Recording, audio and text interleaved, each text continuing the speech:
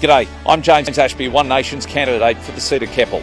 Billions of dollars worth of coal royalties are generated here in central Queensland and yet siphoned off into vanity projects in Brisbane, including the 2032 Olympics. One Nation will prioritise the needs of Rockhampton and the Capricorn Coast first. One nation, one nation, we got the guts to say what you're thinking. Authorised J. Ashby, 34 Cathney Street, Yeppoon.